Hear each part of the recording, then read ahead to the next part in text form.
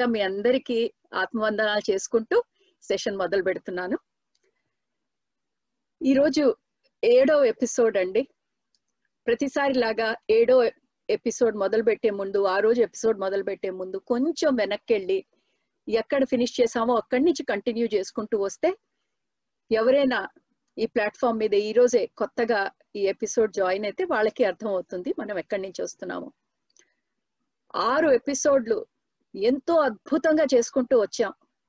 ఒక క్విక్గా ఒక సారాంశం చూడాలంటే అసలు ఈ డివైన్ జర్నీ ఏంటి ఎక్కడికి వెళ్తున్నాము ఆ వెళ్ళే డెస్టినేషన్ అంటే గమ్యం అది ఎక్కడుంది చాలా దూరం ఉందా దాన్ని ఎలా ప్రయాణం చేయాలి ఇప్పుడు మనం మాట్లాడుకున్నాం ఫస్ట్ సెషన్లో ఎక్కడైనా ప్రయాణం చేయాలంటే మనం ఎంతో సరంజామా ప్రిపేర్ అవుతాం.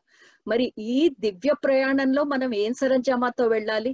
ఇవన్నీ మనం మాట్లాడుకున్నాం మాస్టర్స్. చివరికి ఫస్ట్ ఎపిసోడ్ అయ్యేటప్పటికి మనం ఏం చెప్పుకున్నామంటే ఆ డివైన్ జర్నీ డెస్టినేషన్ అంటే ఈ దివ్య ప్రయాణం ఏదైతే ఉందో దాని గమ్యం ఎక్కడో లేదు మనలోనే ఉంది. కానీ మనలో ఉందని అది ఆషామాషిగా తీలేం మాస్టర్స్. ఎందుకంటే ఎక్కడికో వెళ్ళే ప్రయాణంకి ప్రిపేర్ అయ్యే దానికంటే ఈ దివ్య ప్రయాణానికి బోల్డ్ అంత ప్రిపరేషన్ కావాలి. సో ఆ ప్రిపరేషన్ గురించి మాట్లాడుకుంటూ మనం ఆరు ఎపిసోడ్లు చేసాం అందులో ధ్యానం అని మాట్లాడుకున్నాం.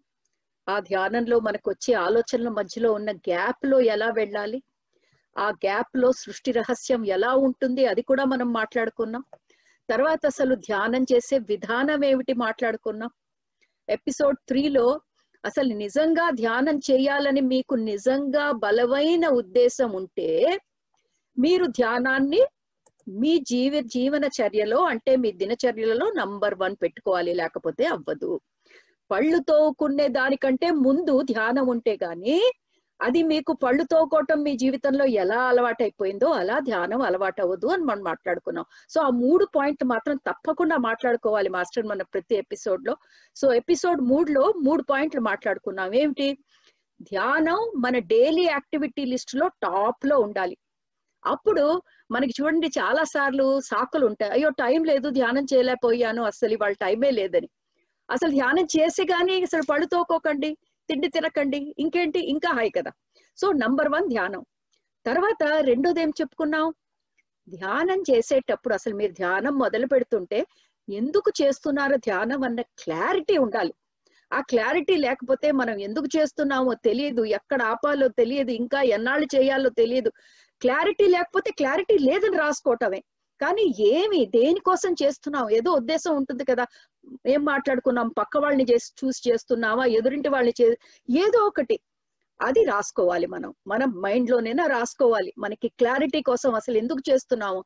లేకపోతే అమ్మా ఏమవుతుందంటే చాలా సార్లు ఒక రెండు నెలలు చేసినాక మనకే తెలియదు మనం ధ్యానం ఎందుకు చేస్తున్నాము? ఇంట్రెస్ట్ పోతుంది. ఇప్పుడు ఏమి క్లారిటీ లేకుండా ధ్యానం చేస్తే ఇంట్రెస్ట్ ఏముంటుంది సో అందుకనే క్లియర్గా ఉండాలి. పోనీ పక్కింటి వాళ్ళతోనే కాంపిటీషన్ అనుకోండి.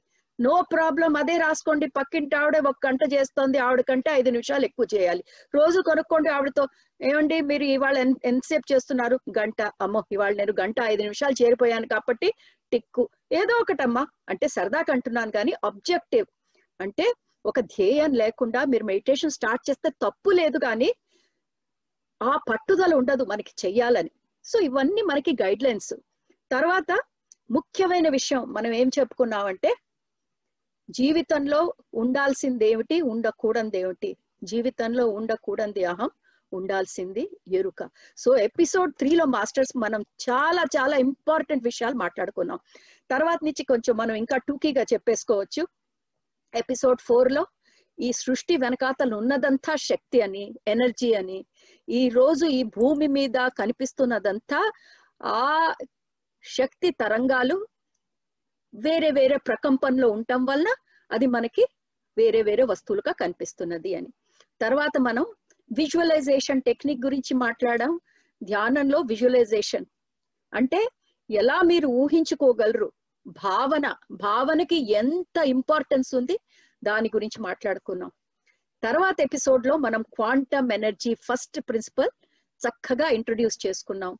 Where attention goes energy flows మన ధ్యాస ఎక్కడ ఉంటే శక్తి అంతా అక్కడికే ప్రసరిస్తుంది. తర్వాత మనం క్వాంటమ్ ఎనర్జీలో ఇంకొంచెం లోతుకి వెళ్ళాం. లోతుకి వెళ్ళి మనం ఏం మాట్లాడుకున్నామంటే ఎనర్జీ వైబ్రేషన్స్ దాన్ని బట్టి సాలిడ్ లిక్విడ్ గ్యాస్ ఎలా ఫామ్ అవుతున్నాయి? ఎందుకు అవి డిఫరెంట్ డిఫరెంట్ వైబ్రేషన్స్లో మనకి వేరు వేరు వస్తువులుగా కనిపిస్తున్నాయి? అది మనం ఎపిసోడ్ ఫైవ్లో చెప్పుకున్నాం. క్రితం ఎపిసోడ్ ఎపిసోడ్ సిక్స్లో మనం అద్భుతమైన టాపిక్ మాట్లాడుకున్నాం మాస్టర్స్. ఏమిటంటే డెస్టినీకి ఫ్రీ విల్కి తేడా ఏమిటి? అదే తెలుగులో చెప్పుకోవాలంటే డెస్టినీ అంటే మన రాత లేకపోతే మన దివ్య ప్రణాళిక అనుకోండి. అది డెస్టినీ అయితే ఫ్రీ విల్ ఏంటి? మన స్వేచ్ఛ. మనకి సృష్టి స్వేచ్ఛనిచ్చింది. ఇది చెయ్యి అది చెయ్యొద్దని సృష్టి చెప్పట్లేదు. ఆ స్వేచ్ఛ మనకి సృష్టి ఇచ్చింది కానీ మనం రాసుకున్న దివ్య ప్రణాళి ఏదైతే మన రాత రాత అనుకొని మనం ఈ భూమి మీదకి వస్తున్నామో దానికి మనకున్న ఫ్రీ విల్ అంటే స్వేచ్ఛకి ఏమిటి డిఫరెన్స్? ఎంతో డీటెయిల్గా ఉదాహరణ ఇచ్చుకొని కూడా మనం మాట్లాడుకున్నాం మాస్టర్స్. లాస్ట్ టాపిక్లో మనం చెప్పుకున్నది ఏదైతే ఉందో difference between destiny and free will. చాలా ఇంపార్టెంట్. అందుకనే క్వశ్చన్ ఆన్సర్స్ తీసుకున్నప్పుడు కూడా మనం పది సార్లు క్లారిఫై చేసుకున్నాం. మనకు అర్థం అవుతోందా డెస్టినీ అంటే ఏంటి? ఫ్రీ విల్ అంటే ఏంటి? ఈ ఫ్రీ విల్ అనేది అర్థం కాకపోతే మాస్టర్స్ మనకి కర్మ మనం ఎలా ఇంకా కర్మ లంపటంలో చిక్కుకోబోతున్నామో మనకు అర్థం కాదు. ఎప్పుడైనా మాస్టర్స్ మనం మనల్ని మనం తెలుసుకోవటం అంటే ఆధ్యాత్మిక దారిలో మనం అడుగు పెట్టినప్పుడు అంతవరకు మనకి మన కర్మ ఈ ఈ పరంపర జీవన పరంపరలు జన్మ పరంపరలు అర్థం కావు. ఎప్పుడైతే మన ఆధ్యాత్మికత అన్న మార్గంలో అడుగు పెడతామో ఎప్పుడైతే మనకి అవగాహన పెరుగుతుందో అసలు మనకి మన జీవితం ఇలా ఎందుకు ఉంది అసలు మనిషి అంటే ఏమిటి? ఎందుకు పుడతాడు? ఎలా ముందుకు వెళ్తాడు అనేది చిన్న అవగాహన వచ్చినా ఫస్ట్ ఆ మనిషికి అర్థమయ్యేది కర్మ పరంపర. ఎలాగైతే జన్మ పరంపర ఉంటుందో అలాగే కర్మ పరంపర. ఖచ్చితంగా అర్థం అవుతుంది ఆ మనిషికి. ఏ క్షణంలో అయితే మనకి అది అర్థం అవుతుందో చక్కగా మన మనసులోనే ఒక గీత గీచేసుకోవాలి మాస్టర్స్. అంటే ఏంటి ఆ గీత అంటే ఇంతవరకు నా జీవితంలో నా జన్మ పరంపరలో ఇంతవరకు జరిగినది ఒక ఎత్తు ఇంకా జరగాల్సింది ఇంకో ఎత్తు. ఏమిటా రెండో రెండు ఎత్తులు? Before and after. బిఫోర్ జీవితంలో ఈ గీతకి ఇటుపక్క బిఫోరు ఇటుపక్క ఆఫ్టరు. ఈ బిఫోర్ జీవితము ఎందుకు ఇలా జరుగుతోంది అని మనం ఎప్పుడు అంత డీటెయిల్గా వెళ్ళటానికి ప్రయత్నించలేదు. వెళ్ళటానికి ప్రయత్నిద్దామని అనుకున్నా అంత మనకి డ్రైవ్ రాలేదు ఆ టైం రాలేదు. సో మనం ఏమనుకున్నామంటే జీవితం అంటే ఇలాగే ఉంటుంది. ఈ లంపంటంలోనే పడి కొట్టుకొని తిరుగుతూ ఉంటాం. సో కొంచెం బాగా జరిగితే అది మనకు అద్భుతమైన జీవితం. అదే జీవితం కొంచెం డౌన్ అయితే అయిపోయింది. అక్కడతో మనం నిస్పృహ డిప్రెషన్ యాంగ్జైటీలోకి వెళ్ళిపోతాం. అదే జీవితం. ఎత్తు పల్లాలు. కొంచెం బాగుంటే సంతోషం కొంచెం బాగలేకపోతే ఫ్రస్ట్రేషన్ ఈ సంతోషం ఫ్రస్ట్రేషన్ అన్న సైకిల్లో అంతవరకు జీవితం గడుపుకుంటూ వచ్చి ఏ రోజైతే ఈ గీత దాటుతామో అప్పుడు ఇన్నాళ్ళు ఈ జీవితం ఇలా ఎందుకుంది? ఈ లైన్కి బిఫోర్ అనేది అర్థమైనప్పుడు ఈ గీత గీసుకున్నప్పుడు ఆ గీతకి అర్థం మన ప్రతి స్పిరిచువల్ ఆస్పిరెంట్ అంటే ఈ ధ్యాన మార్గంలో అడుగుపెట్టిన ప్రతి ధ్యానికి క్లియర్గా అర్థం కావాలి. ఈ గీతకు అర్థం ఏమిటంటే ఇన్నాళ్ళు ఏది జరిగిందో అది దానికి నేనే బాధ్యుడిని నేనే బాధ్యురాలిని. అంటే నేను చేసిందే నాకు కర్మ రూపంలో మళ్ళా వస్తుంది. అంటే ఐ క్రియేట్ మై రియాలిటీ నా వాస్తవాన్ని నేనే సృష్టించుకుంటున్నాను అనేది ఏ రోజైతే అర్థం అవుతుందో ఆ మాస్టర్ ఒక గీత గీసేసుకుంటాడు. గీత గీసుకోవటం అంటే ఏంటంటే మాస్టర్ ఇంకా ఇన్నాళ్ళు నాకు చాత కాకుండా నాకు తెలియకుండా ఎన్నెన్నో జరిగినాయి నా జీవితాల్లో. నాకు అది అర్థం కాలేదు కానీ ఈ రోజు నాకు అది క్లారిటీతో అర్థం అవుతోంది నా నిజాన్ని నా రియాలిటీని నేనే సృష్టించుకుంటున్నాను. నేను ఈ కర్మ బంధనంలో చిక్కుకొని ఇలా కొట్టుకొని కొట్టుకొని కుడుతులో ఎలుకలాగా ఇన్ని జన్మలు నేను ఎత్తాను. జన్మలు ఎత్తటంలో పొరపాటు లేదు మాస్టర్స్. జన్మ ఎత్తటంలో పొరపాటే లేదు. కానీ ఏడుస్తూ జన్మలు గడపటంలో ప్రాబ్లం ఉంది. సో ఎప్పుడైతే మన గీత గీసుకుంటామో ఆ గీత ఏమిటంటే ఇంకా నేను మొత్తం ఎరుకతో నా జీవితం ఇక్కడి నుంచి గడుపు గడుపుతాను. ఎందుకంటే ఇంతవరకు ఎరుక లేకుండా బతికాను. నాకు నా లైఫ్లో ఏమవుతుందో నాకు ఎరుక లేదు. ఎందుకు అవుతుందో ఎరుక లేదు. కానీ ఈ గీత ఏ రోజైతే గీసుకుంటామో దాని ఆఫ్టర్ అంటే దాని తర్వాత ఫేజ్లో బతకాల్సిన ప్రతి స్టెప్ ఏంటంటే ఎరుకతో. ఆ ఎరుక అనేది ఈ టాపిక్ ఇక్కడ ఎందుకు వస్తుందంటే ఈ ఈ డెస్టినీ ఫ్రీ విల్కి ఏదైతే కనెక్షన్ ఉందో అక్కడ ఎరుక చాలా ఉంది మాస్టర్స్. డెస్టినీ అంటే మీ దివ్య ప్రణాళి అంటే మీ రాత అంటే మీ ప్రారంభ కర్మ అది మీరు ముందే డిసైడ్ చేసుకొని వచ్చారు భూమి మీదకి. కానీ ఫ్రీ విల్ స్వేచ్ఛ ఏదైతే మీ చేతికుందో అది మీకు మీ జీవితంలో ఎల్లప్పుడూ మీ దగ్గర ఉంది. సో ఆ స్వేచ్ఛని మీరు ఎలా వాడుకుంటారో అదే మీరు ఇంకా కర్మలంపటంలో ఎలా ఇరుక్కుంటారో డిసైడ్ చేస్తుంది. సో ఫ్రీ విల్ మన చేతిలో ఉంది కదా అని దాన్ని ఇష్టం వచ్చినట్లు వాడుకుండే ముందు రెండు సార్లు ఆలోచించండి. ఎందుకంటే కర్మలప్పటం అర్థమైపోయింది. ఇంకా కర్మలోకి నెగటివ్ కర్మల్లోకి దిగద్దు. మళ్ళా లైట్ లాంగ్వేజ్లో ఏమి డ్యువాలిటీ లేవు. మంచి చెడు అనేది లేదు. కానీ ఈ కర్మభూమిలో ఈ డైమెన్షన్లో ఫిజికల్ డైమెన్షన్లో వచ్చినాక ప్రతిదీ మనకి బాగు బాగులేదు. ఎందుకంటే ఆ ఫీలింగ్స్ బట్టి మనకు ఆ వైబ్రేషన్స్ తెలుస్తున్నాయి. అందుకనే ఇంత ఘనంగా ఈ పృథ్వీ అంతా ఘనమైన పదార్థం కదా ఇంత డెన్స్ వైబ్రేషన్లో వచ్చినప్పుడు మనకి బాధలు తెలుస్తాయి కాబట్టి మనం తెలుసుకోవాల్సింది ఏంటంటే ఈ ఫ్రీ విల్ ఈ స్వేచ్ఛ అనేది ఏదైతే ఉందో చాలా జాగ్రత్తగా వాడాలి. ఎందుకంటే ఇంతవరకు మూటగట్టుకున్న కర్మ ఒక ఎత్తు. కనీసం ఈ గీసిన గీత తర్వాతైనా మనం ఈ లంపటంలో పడకుండా ఈ కర్మ ఎంత తగ్గించుకోవాలో అనేది మనకి క్లారిటీ అవగాహన వచ్చేస్తుంది. అందుకనే మీరు ఈ ఫ్రీ విల్ వాడుకుంటున్నప్పుడు ఏ పనైనా చేస్తున్నప్పుడు నేను ఇది మానవాళి కళ్యాణానికి చేస్తున్నానా? చెయ్యట్లేదా? ఇది ఒకటే క్వశ్చన్ మాస్టర్ మనం అడగాల్సింది. ఇంతకంటే ఏమీ లేదు. చాలా మందికి కొంచెం పెద్ద పెద్ద లిస్ట్ చెప్తే ఇన్నెలా గుర్తుంటాయి మేడం అంటారు. అందుకే అసలు ఏమి పెద్ద లిస్ట్ వద్దు. లేకపోతే లిస్ట్ చెప్పచ్చు. మీరు ఆలోచించే ప్రతి ఆలోచన ఫియర్ బేస్డా లవ్ బేస్డా ఇలా బోల్డ్ అంత లిస్ట్ ఉంది. కానీ ఇవన్నీ గుర్తుపెట్టుకోవటానికి మనకి టైము లేదు ఓపిక లేదు. సో అందుకనే చిన్న చిట్కా ఏంటంటే ఎలా తెలుస్తుంది మనం ఇంకా కర్మలంపటంలో ఇరుక్కుంటున్నావా లేదా? మరి స్వేచ్ఛ ఉంది కదా ఫ్రీ వీల్ ఉంది. అది మనం వాడుకుండే ముందు వాడుకుండే ముందు ఇంకా ఎక్కువ కర్మలప్పటంలో పడకుండా ఉండాలంటే చేసే ప్రతిదీ ఒక్కసారి అడుగుదాం. దీని వలన నాకు మంచి జరుగుతోందా? ఎందుకంటే మనకి జరగకుండా మనం ఏం చెయ్యం. అది అసలు క్వశ్చనే లేదు. అది మనం మానవ సహజం. నాకు మంచి జరుగుతోందా? ఫస్ట్ అడగండి. ఎస్ అని ఆన్సర్ వచ్చింది అనుకోండి రెండోది మానవాళికి మంచి జరుగుతోందా? ఎస్ ఈ ఈ భూమాతకి మంచి జరుగుతోందా? ఎందుకంటే ఈ భూమాత పెరిమీటర్లో మనం కూడా ఉన్నాం. సో ఈ మన చుట్టూ ప్రకృతికి మానవాళికి కూడా మంచి జరుగుతోంది అంటే ఆ పని అసలు ఢోకా లేకుండా చేయొచ్చు మాస్టర్స్. ఓకేనా? కానీ ఫస్ట్ టిక్ టిక్ వచ్చింది అనుకో మీకు బాగుంది. కానీ పక్కవాడు కూలిపోతున్నాడు అనుకోండి. అది యూనివర్సల్ గుడ్ కాదు. అది మానవాళికి కళ్యాణం అయ్యే పని కాదు. అదే మనకి లింకు. ఇంకా కర్మ మనం మూట కట్టుకోకుండా ఉండాలి అంటే ఎందుకంటే ఇప్పటికే మాస్టర్ మన కర్మ గురించి చూచాయిగా లాస్ట్ టాపిక్ మాట్లాడుకున్నాం. ఏం మాట్లాడుకున్నాం? పెద్ద మూట ఉంది అక్కడ సంచిత కర్మ. అక్కడ వదిలేసుకొని వచ్చాం మనం. అందులో నుంచి ఒక చిన్న ప్రారంధ మూట ప్రారంధ కర్మ అన్న మూటే మనం తీసుకొని వచ్చాం ఈ జన్మకి. ఇంతకంటే ఎక్కువ తీసుకోలేము. మన పోయిన వారం బాగా చెప్పాను చూడండి అప్పుడు. గైడ్స్ మనకి భలే చెప్తారు. మనమేమో ఇంకా మూట తీసుకొస్తామంటే చాలరా నాయన ఇదే నువ్వు భరించలేవు ఇంకా ఎక్కడ తీసుకెళ్తావు చాలే. కానీ మనం భలే ఉత్సాహంతో ఉంటాం. అబ్బా ఏం పర్వాలేదు సార్ ఇంకొంచెం తీసుకొస్తాను మూటలో. ఎందుకు? ఆతృత. ఆ పెద్ద మూట ఫినిష్ చేసేయాలని. అక్కడ ఉన్నప్పుడు ఒకలా ఉంటాం ఇక్కడ ఉన్నప్పుడు ఇంకోలా ఉంటాం. ఇదే మాయ ఇదే ఇల్యూషన్ మాస్టర్స్. ఇందులోనే పడి మనం కొట్టుకుంటున్నాం. కానీ అక్కడ ఉన్నప్పుడు ఆ సంచిత కర్మ మూట సంచిత అంటే మొత్తం అక్యూములేటెడ్ ఈ జన్మ పరంపరలు మొదలైన దగ్గర నుంచి మనం మూట కట్టుకుంటూ వచ్చామే. నేను మూట కట్టుకోవటంలో తప్పు లేదు అది నెగటివే కాదు. మంచి చెడు రెండూ మూట కట్టుకుంటూ వచ్చాం. కానీ ఏదైనా బ్యాలెన్స్ అయిపోవాలి మాస్టర్స్.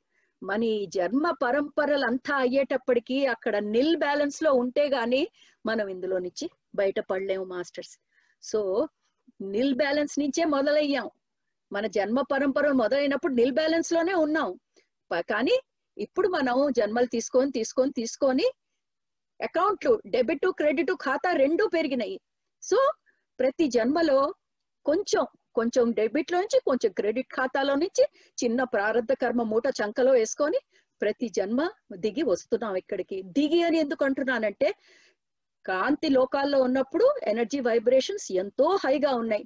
అంత హై వైబ్రేషన్స్ ప్రకంపనలు తగ్గించుకుంటూ తగ్గించుకుంటూ ఈ భూమి డైమెన్షన్కి సరిపోయే ఈ భూమాత మన తల్లి భూదేవి డైమెన్షన్స్కి సరిపోతూ సరిపోతూ అంటే ఆ వైబ్రేషన్స్ తగ్గించుకుంటూ ఈ ఇంత తగ్గించుకుంటే గాని మనం ఇక్కడ ఈ భూమి మీద జన్మ తీసుకోలేము. ఇలా మన ప్రకంపనలు తగ్గించుకుంటూ తగ్గించుకుంటూ వచ్చేటప్పటికి మనకి గతం అనేది ఏమీ గుర్తుండదు. ఈ ప్రకంపనల్లో ఉన్నది ఒక క్వాలిటీ ఏంటంటే ప్రకంపనలు ఇంత తగ్గిపోతే మనకి మన గతం ఏమీ గుర్తుండదు మాస్టర్స్.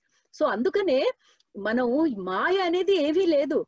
మాయ అంటే మన ప్రకంపనలు తగ్గించుకోవటమే మాయ.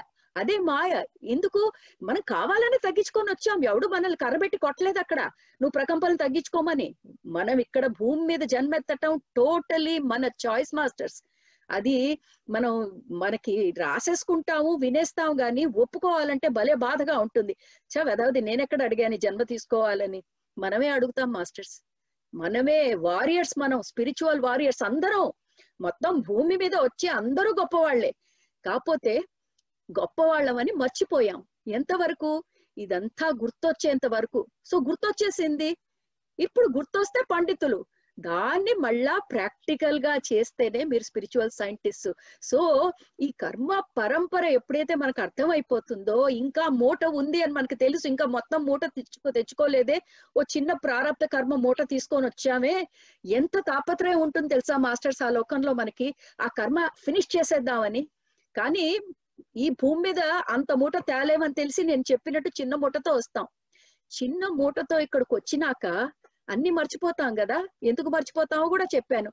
మనం మన ప్రకంపనలు వైబ్రేషన్స్ తగ్గించుకుంటూ ఈ అట్మాస్ఫియర్కి తగ్గట్టు డెన్స్ డెన్స్ అంటే ఘనంగా ఉంటుంది ఇక్కడ అట్మాస్ఫియర్ ఇక్కడికి తగ్గట్టు ప్రకంపనలు తగ్గించుకుంటూ ఉండేటప్పటికి మాయ ఆవరిస్తుంది. ఈ ప్రకంపనలో మనకి మాయ అనేది కప్పి మనకి మర్చిపోతాం.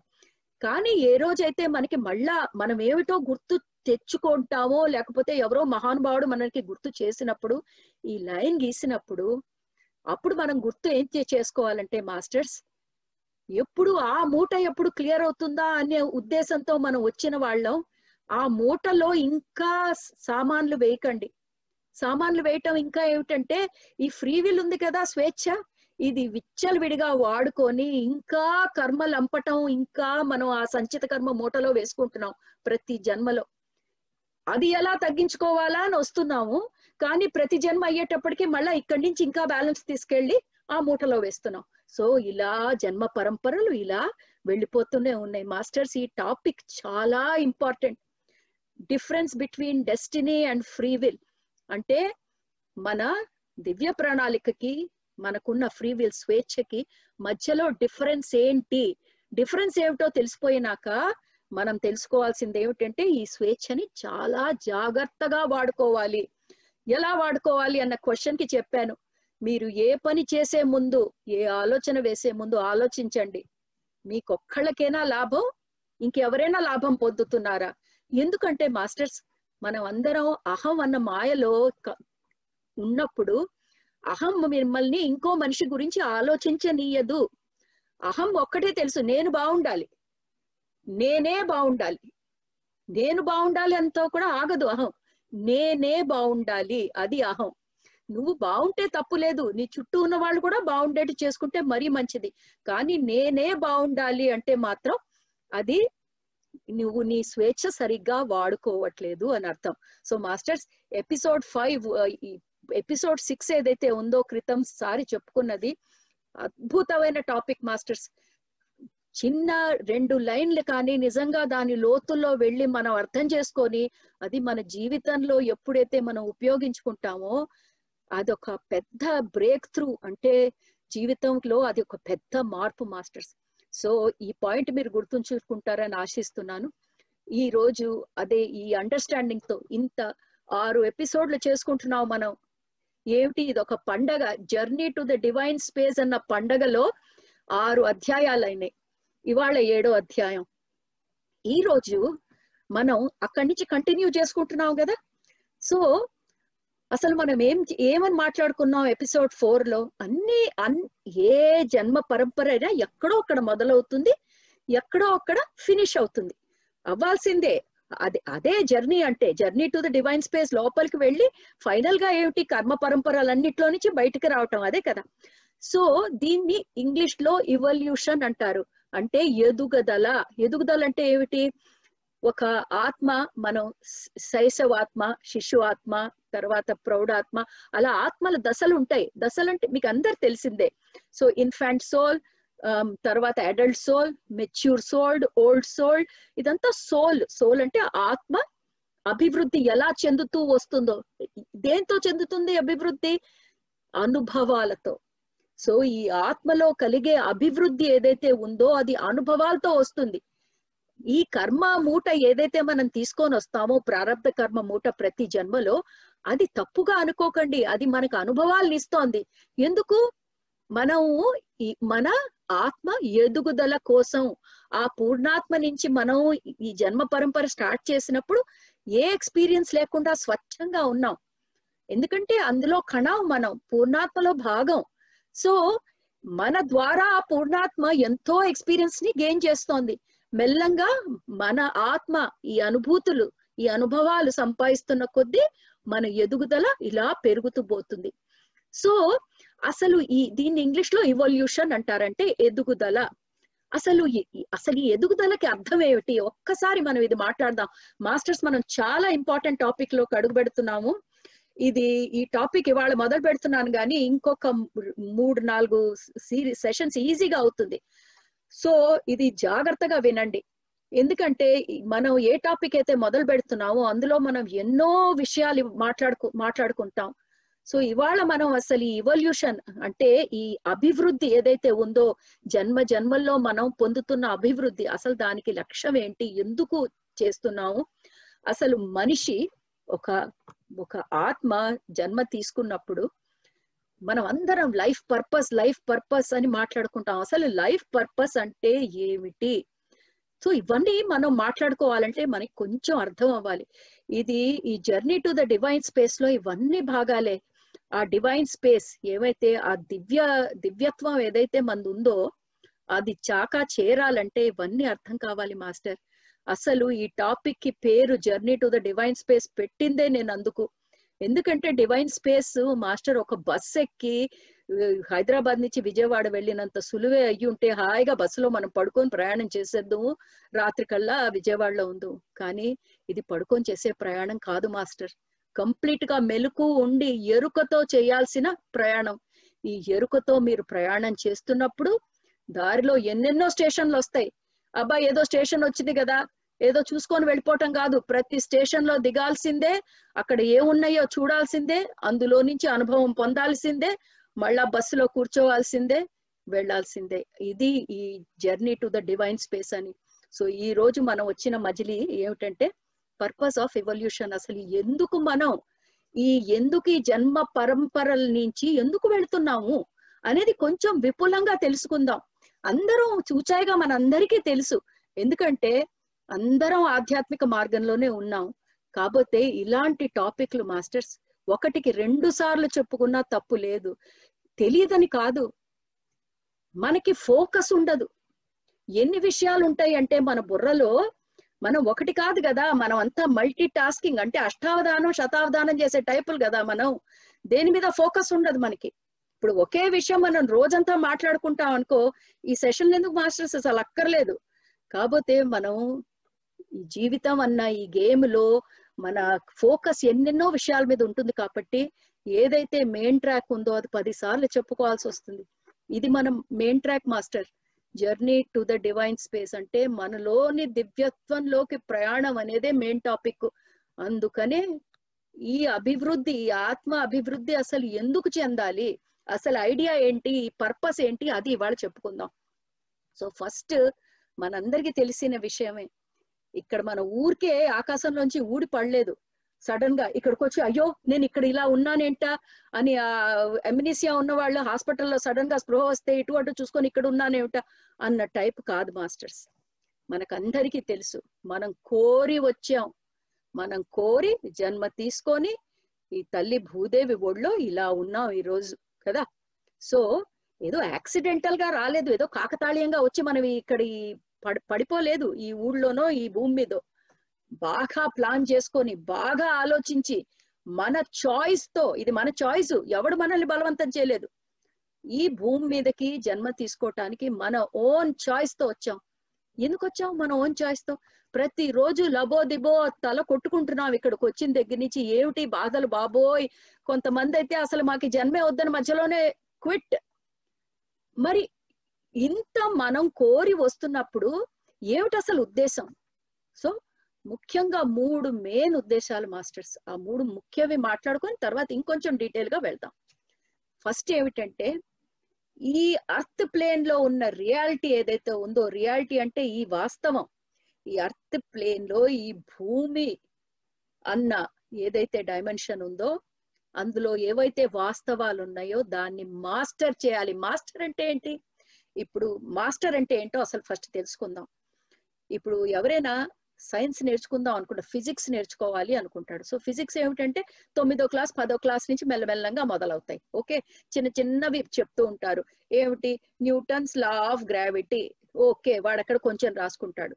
తర్వాత పన్నెండో క్లాస్లో వచ్చేటప్పటికి అదే గ్రావిటీకి ఫార్ములాలు ఏమిటి తర్వాత బిఎస్సి అంటే మనం బిఎస్సి బ్యాచిలర్ డిగ్రీలో వచ్చినప్పుడు ఇంకొంచెం డీటెయిల్ మనకు అందులో ఇప్పుడు లెక్కలు కూడా ఇచ్చేస్తారు. ఒక బాలు ఇంత ఇది గతితో వెళుతుంటే ఇంకా అంటే కొంచెం ఇంకా డీటెయిల్లో వెళ్ళిపోతున్నాం. బిఎస్సి ఫినిష్ అయిపోతుంది. తర్వాత బాగా చేసిన వాళ్ళు ఫిజిక్స్లో మాస్టర్ చేస్తారు. మాస్టర్ కదా? ఎంఎస్సీలు చేస్తాం కదా? MSc in physics MSc in chemistry అంటే ఏంటి? ఒక సబ్జెక్ట్ తీసుకొని అదే ఇంకా డీటెయిల్గా వెళ్ళి దాన్ని సమూలంగా అర్థం చేసేసుకున్నాక మాస్టర్ అయిపోతాడు.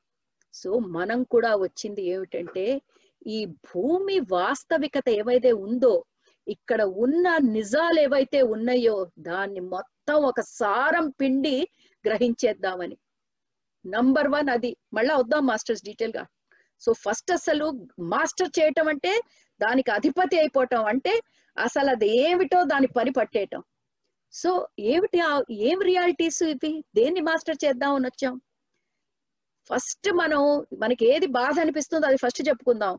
సంతోషం ఏవైతే ఉందో ఎవరికి అక్కర్లేదు మాస్టర్స్. ఎప్పుడైనా మీరు ఆలోచించారా అబ్బా నాకు ఇవాళ ఎందుకు ఇంత సంతోషంగా ఉంది? ఏదో ఒకసారి ఆలోచిస్తారు కానీ రోజంతా కూర్చొని నేను ఎందుకు సంతోషంగా ఉన్నాను అని ఎవడు కూర్చోడు. కానీ బాధ వస్తే మాత్రం బా నా కర్మ కాలిపోయి నాకే ఎందుకు ఈ బాధ వచ్చిందని నెలలు తరబడి పడి ఏడుస్తాం. సో అందుకనే ముందు బాధ గురించి మాట్లాడదాం. సో బాధల గురించి మాట్లాడుతున్నప్పుడు మనకు వచ్చేది ఛాలెంజెస్ మాస్టర్స్. మనం ఈ ఛాలెంజెస్ తట్టుకోలేక ఏ ఎలా చిన్న ఛాలెంజ్ అనుకోండి పెద్ద ఛాలెంజ్ అనుకోండి మంచిది చెడు అని నేను అనట్లేదు. ఫర్ ఎగ్జాంపుల్ మనకి హెల్తే బాగుండలేదు. ఒక కాలు లేకుండా పుట్టాం ఒక చెయ్యి లేకుండా పుట్టాం.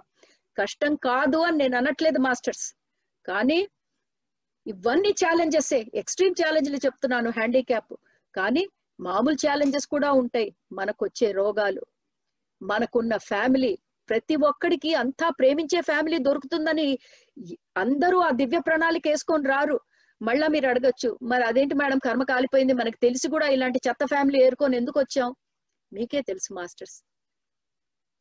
ఎలాగైతే మనం అనుభవాల కోసం వచ్చాము అన్నప్పుడు ఈ అనుభవాలకి కాంట్రాస్ట్ ఉంటుంది. కాంట్రాస్ట్ అంటే ఒకటి మంచి అయితే దానికి కాంట్రాస్ట్ ఏంటి? చెడు. అలాగే ఒక తీపిగా ఉందంటే దానికి కాంట్రాస్ట్ ఏంటి? చేదు. ఒక్క తీపే నువ్వు ఆ రుచి చూస్తూ ఉంటే దాని విలువ నీకు ఎలా తెలుస్తుంది? ఇప్పుడు రోజు నీకు లడ్డు గులాబ్ జామున్ జలేబీ చిన్నప్పటి నుంచి అది ఒకటే పెట్టారనుకో ఇంకా వేరే రుచులేం పెట్టలేదు అనుకో నీకు ఆ తీపి విలువ ఉండదు. తీపి బాగుంటుంది అన్న ఐడియా ఉండదు. అదే నీకు ఎవరైనా తెచ్చి వేప రోజు పెట్టారనుకో సడన్గా ఒక రోజు ఎవరైనా తెచ్చి లడ్డు పెడితే అమ్మా! ఇంత రుచిలో తేడా ఉంటుందా? అంటే అస్సలు తెలియని వాడికి చెప్తున్నాను. సో ఇది రుచులు ఎందుకు చెప్తున్నానంటే జీవితంలో మనకు వచ్చే ఛాలెంజెస్ కూడా అలాగే ఉంటాయి. మనకి ఒక్కొక్కసారి ఫుల్ హెల్త్ బాగుంటుంది. ఇంకొక జన్మలో హెల్త్ ప్రాబ్లమ్స్తో పుడతాం. ఎందుకు అంటే కాంట్రాస్ట్ మాస్టర్స్ ఎక్స్పీరియన్స్ ఆత్మకి కావాల్సింది ఆత్మ ఎదుగుతున్నప్పుడు ఆత్మకి కావాల్సింది అన్ని రకాల అనుభవాలు. దానికోసమే కోరి కోరి పుడుతున్నాం. అన్ని రకాల అనుభవాలు. ఎందుకంటే అక్కడ ఉన్నప్పుడు మంచి చెడు లేదు. అక్కడ ఉన్నప్పుడు ఒకటే. మాకు తెలియట్లేదు ఇది ఎలా ఉందో. సో ఓకే గైడ్స్ అంటారు నో ప్రాబ్లం. నీకు దీని నాలెడ్జ్ లేదా? పో ఈ జన్మ తీసుకో. ఈ జన్మలో నువ్వు పేదవాడుగా పుట్టు. అప్పుడు పేదరికం అంటే ఏంటో తెలుస్తుంది.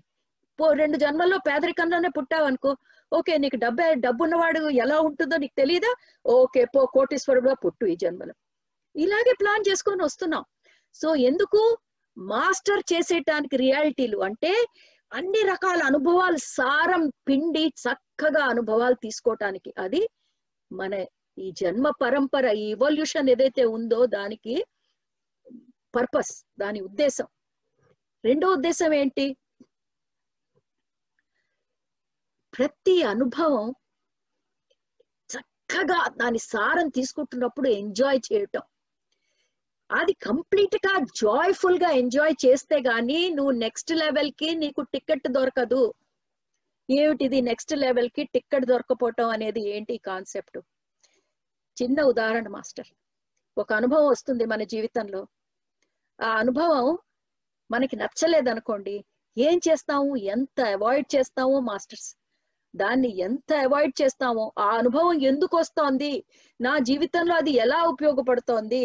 దాన్ని నేను ఎలా సంపూర్ణంగా స్వీకరించగలను అనేది చాలా కొద్ది మంది ఆలోచిస్తారు.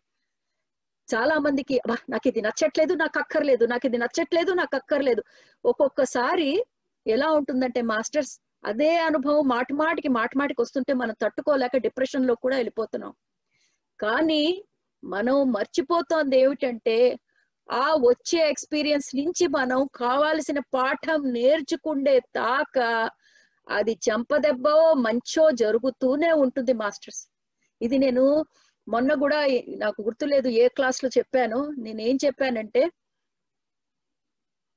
లా ఆఫ్ అట్రాక్షన్లో మా టీవీ వెజిటేరియన్ దాంట్లో లా ఆఫ్ అట్రాక్షన్ చెప్తున్నాను.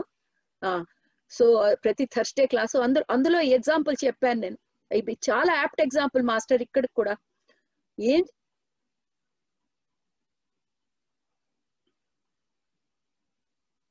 ఏం చెప్పా అంటే కొన్ని రిలేషన్షిప్స్ ఉంటాయి మనకి. ఫ్రెండ్స్ ఉంటారు మాస్టర్స్. ఒక్కొక్కళ్ళ జీవితంలో ఎలాంటి ఫ్రెండ్స్ వస్తారంటే మోసం చేస్తారు. వీడనుకుంటాడు బాబోయ్ ఇదేంటి? నేను ఎంతో ఆలోచించి కదా ఫ్రెండ్షిప్ చేశాను వీడితో. ఇంత ఆలోచించి ఫ్రెండ్షిప్ చేసినా నాకు ఇదేంటి వీడు మోసం చేసేసాడు? భలే బాధ అనిపిస్తుంది. మరి మీరు మంచిగా ఉందామని ప్రయత్నించి అవతల వాడు మోసం చేస్తే బాధ ఉంటుంది కదా మాస్టర్స్? మళ్ళా వీడు వెయిట్ చేస్తాడు ఇంకో ఫ్రెండ్ కోసం. ఒకసారి కా చేతులు కాలాయి కదా ఇంకొంచెం జాగ్రత్తగా వెతుకుతాడు ఫ్రెండ్స్ కోసం. చూసి చూసి ఎవడో మంచి వా- వాడు కదా ఫ్రెండ్షిప్ చేస్తాడు. ఏడాది పోయేటప్పటికి సేమ్ ఎక్స్పీరియన్స్ మాస్టర్. వాడు వాడు వీడిని మోసం చేస్తాడు. అంతే వాడు మోసం చేయగానే వీడు కట్ చేసేస్తాడు. మళ్ళా ఇంకా వాడి బతుకు ఎలా అయిపోతుందంటే వాడి జీవితంలో వచ్చే ప్రతి దోస్తు మోసగాడే అని. ఇంకా అక్కడి నుంచి వాడు టోటల్గా ఫ్రెండ్షిప్ చేయటమే మానేస్తాడు. లేకపోతే మనిషి కనిపిస్తే చాలు ఈ ప్రపంచం అంతా మోసగాళ్ళ ప్రపంచం. ఇలా బ్యా లేబుల్ వేసేసుకుంటాడు. సో ఇక్కడ ఈ రె- నేను చెప్తోంది ఇక్కడ మీకు చెప్తే మీకు కరెక్ట్గా అర్థం అవుతుంది ఎప్పుడు తాక మీకు ఎక్స్పీరియన్స్ అవుతుంది? ఎప్పుడు తాక అవుతుందంటే మీకు అర్థం అవ్వాలి. ఎందుకు వస్తోంది ఇది నా జీవితంలో? దాని నుంచి పారిపోతే మీరు ఎక్కడికి పారిపోలేవు. You have to face it మీరు నిలబడి ఏం పర్వాలేదు. ఏం పర్వాలేదు. ఎవడొస్తాడో రాని. ఎలాంటి ఫ్రెండ్షిప్ వస్తే నాకు ఓకే యాక్సెప్టెడ్ ఎప్పుడైతే మీరు ఆ ఎక్స్పీరియన్స్ని యాక్సెప్ట్ చేసే కెపాసిటీ మీకు వస్తుందో ఎవడు యాక్సెప్ట్ చేయగలడు మాస్టర్ ఎవడైతే నాకు నష్టమైనా కష్టమైనా నో ప్రాబ్లం నేను ఒకేలాగుంటాను. అనంగానే మీకేం గుర్తుకొస్తోంది? కర్మయోగ. కర్మ ఫల ఆపేక్ష. మీరు ఇంకా దాని మీద ఫలం ఎలా ఉంటుంది? నాకు ఫ్రెండ్ వచ్చాడు మంచిగా ఉంటాడా చెడుగా ఉంటాడా? ఇన్ని ఆలోచించరు. నేను చెయ్యాల్సింది నేను చేస్తాను. వీడు నా ఫ్రెండ్ నేను మంచిగా ఉంటా. వాడు మంచిగా ఉంటాడా చెడుగా ఉంటాడా? వాడి కర్మ. దాని వలన నాకు నష్టం లేదు. నేను ఎందుకు అనుకుంటున్నాను? మోసపోతున్నానని. ఎందుకంటే వాడి మీద డిపెండ్ అవుతున్నాను నేను. సో మీరు అర్థం చేసుకోండి. ఎందుకు వస్తుందో మీకు ఎక్స్పీరియన్స్. ఎందుకంటే మీరు ఇంకో మనిషి మీద డిపెండ్ అవ్వకుండా మీరు ఇండిపెండెంట్గా ఉండటానికి మీకు వస్తున్న ఎక్స్పీరియన్స్. కానీ ఏమిటి? మీరు నేర్చుకోవట్లేదు. మీరు ఫ్రెండ్ని తిడుతున్నారు మోసగాడని. కానీ మీరు మీరు ఇంప్రూవ్ చేసుకోవాల్సింది ఏమిటో మీకు అర్థం కావట్లేదు. అలాంటి ఫ్రెండ్స్ మాటి మాటికి ఎందుకు వస్తున్నారంటే మీకు మీ గురించి తెలుపటానికి ఇదొక అనుభవం. సో ఎప్పుడైతే మీరు అది సంపూర్ణంగా అన్- అర్థం చేసుకొని దాని నుంచి పారిపోకుండా దాన్ని ఒక అనుభవం లాగా తీసుకొని ఎస్ చాలా సార్లు మాస్టర్ ఒక అనుభవం అయినాక దాన్ని భరించ భరించగలిగినా గలిగినా భరించలేకపోయినా ఒక్కసారి మీలో మీరే అనుకోండి. నాకు ఈ ఎక్స్పీరియన్స్ కంప్లీట్గా అర్థమైంది. ఇంకా నేను ఇందులో అర్థం చేసుకోపోవటానికి ఏం లేదు నాకు తెలుసు ఇది ఇలా వస్తోంది అని. ఒక్కసారి మీ మీ మీ ఆత్మకి మీ పూర్ణాత్మకి మీ హైయర్ సెల్ఫ్కి మీరు చెప్పుకోండి. ఇప్పుడు నాకు అర్థమైంది.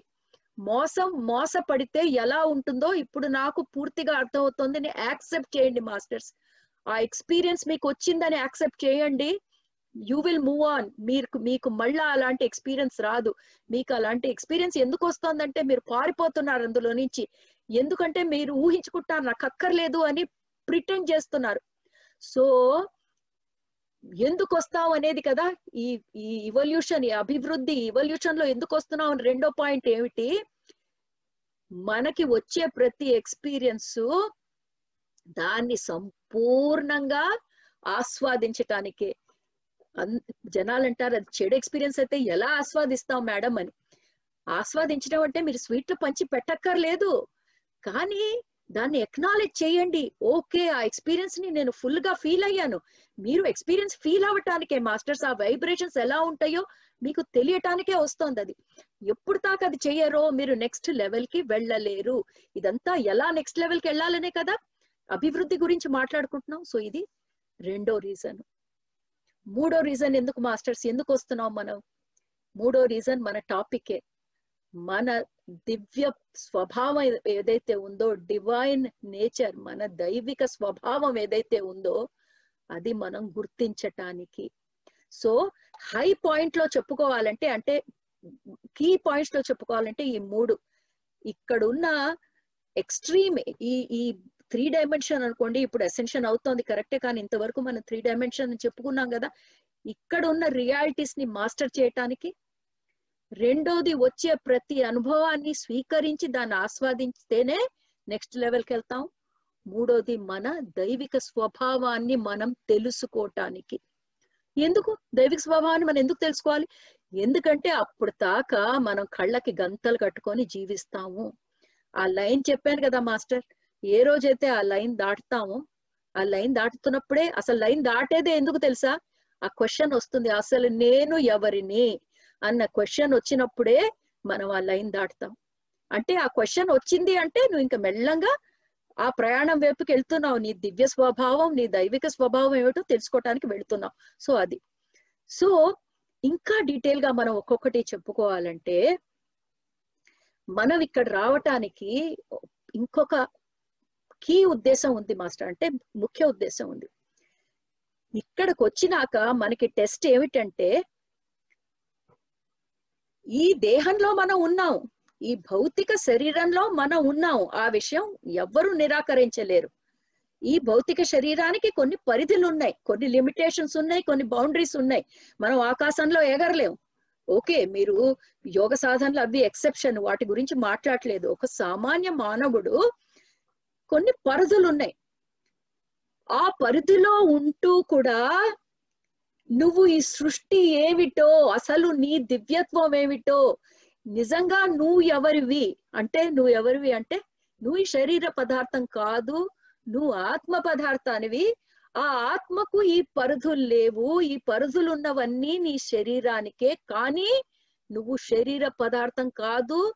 సో నువ్వు శరీర పదార్థం అని అనుకోకు. ఈ శరీరంలో నువ్వు అనుభవాల కోసమే వస్తున్నావు. సో మనం ఈ సృష్టిలో ఈ భూమి మీదకి రావటానికి ఒక కారణం ఇది కూడా మాస్టర్స్.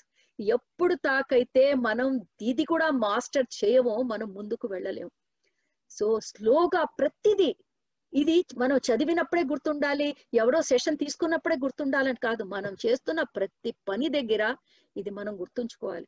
మనం ఏదైనా ఇప్పుడు సెషన్ చెప్పుకుంటున్నాం అనుకోండి మాస్టర్స్ మనం ఏమనుకోవాలంటే ఓకే? భౌతిక శరీరంలో ఉన్నాం కాబట్టి ఇలా కూర్చొని కంప్యూటర్ దగ్గర కూర్చొని ఇవన్నీ చెప్పుకుంటున్నాం. కరెక్టే కొన్ని నేను అనుభవించలేను. మేడం అంటున్నారు మనలోని దైవిక స్వభావం మనం తెలుసుకోవాలి అని. ఓకే దైవిక స్వభావం ఉంది తెలుసుకుందామని ప్రయత్నిస్తాం.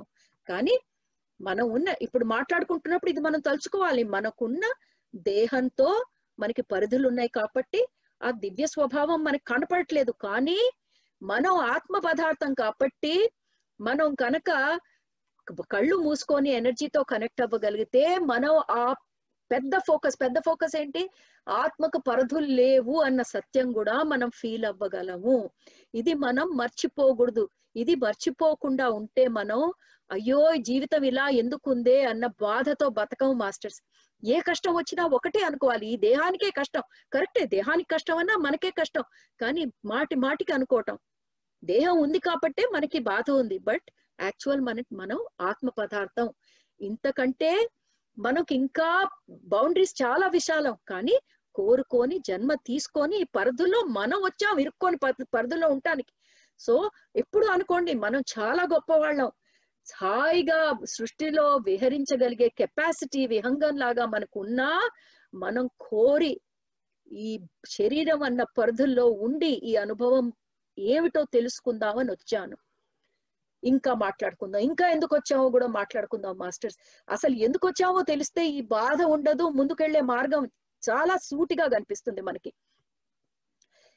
ఇంకోటి ఏంటంటే ఈ భూమి మీదకి వచ్చినప్పుడు ఈ రియాలిటీలోకి వచ్చినప్పుడు ఏడుస్తూ బతకటానికి అయితే రాలేదు మాస్టర్స్.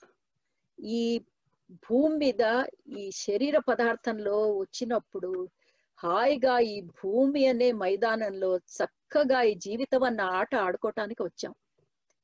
ఆట ఆడుతున్నప్పుడు ఎవ్వరూ ఏడవరు మాస్టర్స్. మీరు చిన్నప్పుడు ఆటలు ఆడారు. ఓకే అవతల వాడు తొండి చేస్తే చిన్నప్పుడు పిల్లలు ఏడుస్తారు కానీ బట్ ఆట ఆడుతున్నప్పుడు ఒక్కొక్కసారి గోల్ పోతుంది. పర్వాలేదు ఏమంటా నో ప్రాబ్లం మళ్ళీ ఆడతాం. ఆట అనేది పెద్ద ఎడిక్షన్ ఎవడు ఒకసారి ఓడిపోతే నేను ఇంకా ఆడను అని వెళ్ళిపోడు. ఏం పర్వాలేదు నో ప్రాబ్లం. ఇవాళ ఓడిపోయాం రేపరా రేపు ఆడదాం. సో ఒకసారి ఓడతాం ఒకసారి ఆడతాం. కానీ ఏమిటంటే ఆట అనేది సరదాగా ఆడుకోవటానికే. మనం వచ్చింది ఆట ఆడటానికే. దీన్ని ఆటలాగే ఉంచుదాం మాస్టర్స్. ప్రతిసారి ఇది ఆట ఆట అని మనం గుర్తు చేసుకుంటే ఎంత సీరియస్గా తీసుకోం. నిజంగా తీసుకోం. ఇప్పుడు చిన్న ఎగ్జాంపుల్ ఇచ్చుకుందాం పిల్లలు ఎదుగుతున్న పిల్లలు ఇంట్లో ఉన్నప్పుడు చాలా సార్లు వాళ్ళ మాట వినరు మాస్టర్స్. మొన్న కూడా మాకు ఎవరో క్వశ్చన్ అడుగుతున్నారు. పిల్లలు పిల్లల్ని మేము ఇన్నర్ చైల్డ్ సెషన్ చేసుకున్నప్పుడు మేడం అడుగుతున్నారు. చిన్న పిల్లలండి అసలు చిన్న పిల్లలు వాళ్ళు వినరు మాట వినరు చెప్తే వాళ్ళ కోపము చిన్న చిన్న పిల్లల గురించి. అలా చెయ్యొద్దురా అంటే వినరు ఓ రెండు దెబ్బలు తగిలితే అప్పుడు చేస్తారు మా మేడం. మా కొట్టాలని ఉండదు కానీ వాళ్ళు చెప్తే వినట్లేదు కదా మరి కొడితే గానీ చేయట్లేదు కదా అందుకే కొడుతున్నాం. అప్పుడు అదే చెప్పాను చిన్న పిల్లాడు కాబట్టి కొట్టారు. ఇంకో పదేళ్ళు పోయి అదే అదే బుర్రలో పెట్టుకొని కొడితే గాని వాడు చేయడని మీరు కొట్టండి వాడు తిరిగి కొడతాడు. సో ఎందుకంటే పిల్లలు ఒక ఏజ్ వచ్చినాక వాళ్ళు అడల్ట్ అయిపోయే ముందే మనం వాళ్ళతో రిలేషన్షిప్ ఎస్టాబ్లిష్ చేసేసుకోవాలి. లేకపోతే మన మీద వాళ్ళకి గౌరవం ఎలాగో ఉండదు. టాపిక్ ఇప్పుడు పేరెంటింగ్ గురించి కాదు కానీ మనం చెప్తోంది ఏమిటంటే ఒక్కొక్కసారి పిల్లలు మాట వినరు. తల్లిదండ్రులు ఎంత అప్సెట్ అయిపోతారో మాస్టర్స్. వాళ్ళకి ఇజ్జత్ అంటే పరువు పోయినంత ఫీల్ అవుతాడు. ఇప్పుడు వాడు వెళ్ళిపోతున్నాడు. ఎప్పుడో అర్ధరాత్రి వస్తా అని చెప్పి పిల్లాడు ఇంటి నుంచి వెళ్ళాడు అనుకోండి. వాడికి తెలిసి తెలియని వయసు మనం ఎంతో చెప్తాం ట్రై చేస్తాం వాడు విండు.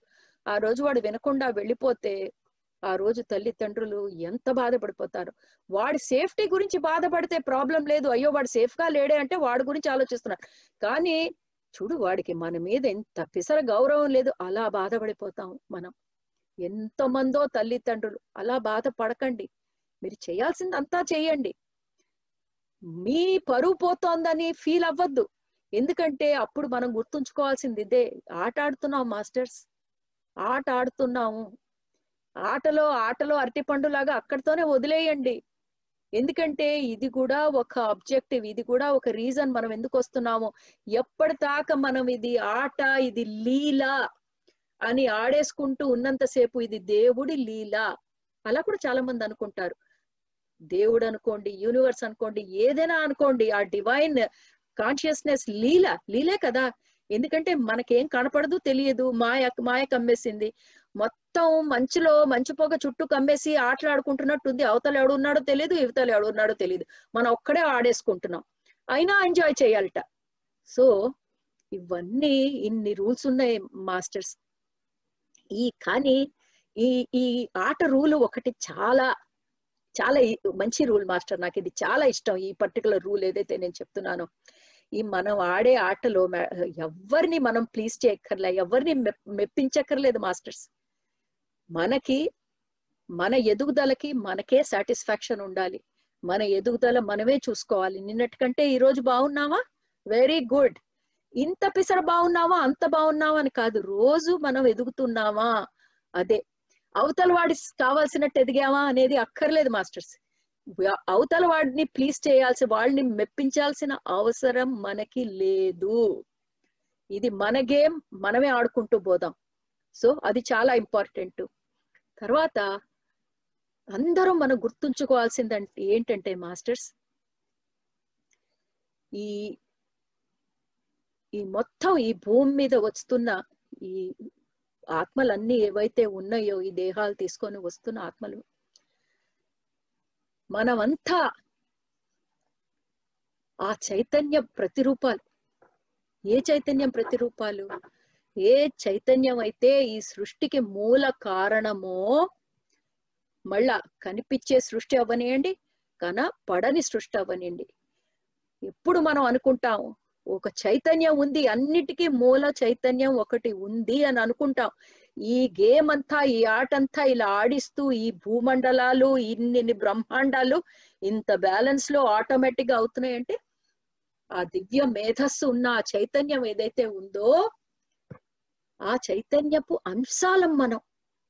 అంశాలు. దాన్నే ఇంగ్లీష్లో ఎక్స్ప్రెషన్ అంటారు. అంటే ప్రతి రూపాలనో లేకపోతే ఆ చైతన్యం భావాలు అని. ఎంత గొప్ప గొప్ప ఎక్స్ప్రెషన్ మాస్టర్స్. ఆ బ్రహ్మాండమైన చైతన్యం ప్రతిరూపాలు మనం. ఇప్పుడు ఆ ప్రతిరూపాలు మనం అంటే ఆ చైతన్యం ఎంత గొప్పదో మనకు తెలుసు. అందులో ఇంత కణమైన మనం అంటే ఎంత గొప్పవాళ్ళం మనం? దానిలో భాగం అంటే ఆ చైతన్యపు గుణాలతోనే కదా పుట్టాము ఇప్పుడు ఒక చెట్టు ఉంది మాస్టర్. ఒక మామిడి చెట్టు ఉంది. ఆ మామిడి చెట్టు కాయ కాస్తుంది కాయలోంచి ఇంత గింజ వస్తుంది. ఆ గింజని చూసి మనం అబ్బాయి ఈ గింజ ఏం చేస్తుంది? ఆ చెట్టు చూడు ఎంత బాగుందో ఎంత పెద్దదో ఈ ఈ గింజతో ఏం అవ్వదు అని అన్నాం కదా. ఏం చేస్తాం? ఈ గింజలో ఆ చెట్టు అయ్యేంత పొటెన్షియల్ ఉందంటాం. అంత క్షమత ఉంది దానికి. ఆ మళ్ళా ఆ చిన్న గింజే మనం లోపల పాతితే అంత చెట్టు అయ్యే కెపాసిటీ దానికి ఉంది. అదే మనం ఆ మహామూల చైతన్యం అన్న మామిడి చెట్టులో నుంచి చిన్న చిన్న పిక్కలుగా బయటకు వచ్చాము. ఇప్పుడు మనం ఒక్కొక్కళ్ళం ఈ ఇవల్యూషన్ అన్న ప్రయాణంలో ముందుకెళ్తూ చక్కగా మనం కూడా ఆ మామిడి వృక్షం అవుదామని ముందుకెళ్తున్నాం. ఏ రోజైతే మనం కూడా మహావృక్షం అయిపోతామో అయిపోయింది మన పని అయిపోయింది. ఇందాక నేను చెప్పిన పాయింట్లన్నీ ఉన్నాయి కదా మాస్టర్స్. అవన్నీ మనం చేసేసామనే సంగ అర్థం. ఇది చాలా ఇంపార్టెంట్ మాస్టర్స్. మనమే కనుక ఆ మూల చైతన్యం ప్రతిరూపాలైతే మనల్ని మనం తక్కువ చేసి ఎత్తుకు మాట్లాడుకోవాలి మాస్టర్స్? మామిడి మామిడి చెట్టు మామిడి గింజ. అదే అర్థం. గింజను ఎందుకు అంటున్నానంటే ఆ పిక్కను ఎందుకు అంటున్నానంటే ఇంకా మహావృక్షం అవ్వలేదు. కానీ మహావృక్షం అయ్యే క్వాలిటీస్ అన్నీ ఉన్నాయి మనలో. అందుకనే ఇన్ని జన్మ పరంపరలో నుంచి వెళుతున్నాం మహావృక్షం అవ్వటానికి. ఏ రోజైతే మనం మహావృక్షం అయిపోయామో మన జన్మ పరంపరలు ఫినిష్ మాస్టర్స్. ఈ రోజు నేను ఇక్కడ ఈ పాయింట్తో ఆపుతాను. ఎందుకంటే నెక్స్ట్ పాయింట్ మొదలు పెట్టారంటే అది ఇంకా మనకి టూ అవర్స్ అవుతుంది. సో ఈ రోజు ఈ పర్పస్ ఆఫ్ ఇవల్యూషన్ అసలు ఈ జన్మ పరంపరలు ఏదైతే ఉందో ఆత్మది అసలు ఎందుకు వస్తామో ఏమిటి చేయటానికి వస్తామో ఇవాళ మనం దాని గురించి మాట్లాడుకున్నాం. నెక్స్ట్ వారం మాస్టర్స్ మన ఇదే కొంచెం ముందుకు తీసుకెళ్ళి అసలు అందరం లైఫ్ పర్పస్ లైఫ్ పర్పస్ అనుకుంటున్నాం. ఈ ఆ జన్మ పరంపరలో ప్రతిసారి జన్మ తీసుకున్నప్పుడు ఒక లైఫ్ పర్పస్ అనేది ప్రతి ఒక్కడికి తెలుసు. అదేమిటి? అది ఎలా తెలుసుకోవాలి? అది తెలుసుకోవాలంటే ఏం చేయాలి? అవి ఇంకా డీటెయిల్గా మాట్లాడుకుందాం మాస్టర్స్. సో నేను ఈ పాయింట్లో హోస్ట్కి ఇచ్చేస్తాను మేడం? క్వశ్చన్స్ ఏదైనా ఉంటే నేను ఒక టూ త్రీ క్వశ్చన్స్ నాకు ఇంకా టెన్ మినిట్స్ ఉంది. ఆ టెన్ మినిట్స్లో నేను క్వశ్చన్స్ తీసుకుంటాను madam. Thank you very much. Masters madam తో మాట్లాడాలనుకున్న వాళ్ళు హ్యాండ్ రైజ్ చేయండి.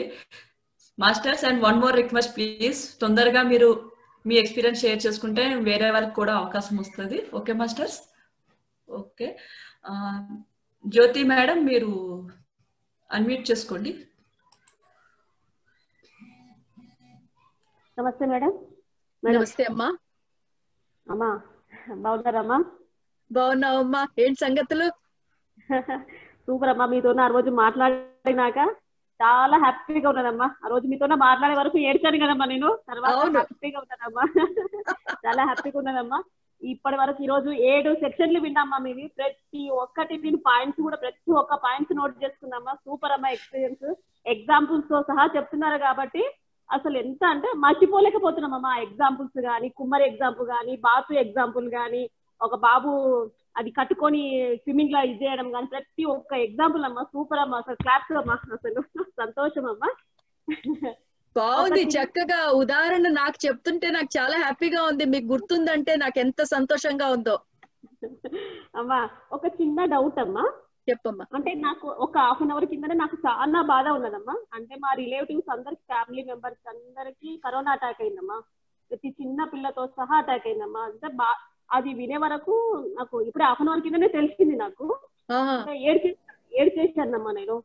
ఏడు. చేసినా మళ్ళీ ఇప్పుడు ఈ సెక్షన్లో అటెండ్ అయ్యే వరకు మీరు బాధ గురించి చెప్పే వరకు నాకు కొంచెం రిలీఫ్ అనిపించిందమ్మా కొద్దిగా. ఏమంటే నాకు ఒక్క చిన్న డౌట్ ఏమమ్మా అంటే ఇప్పుడు మనము పాప పుణ్యాలు సమానంగా తీసుకుని వస్తాం మేడం లేకపోతే పాపాలు ఎక్కువ పుణ్యాలు ఎక్కువ అట్లా అట్లా మనం తీసుకొని వస్తామమ్మా?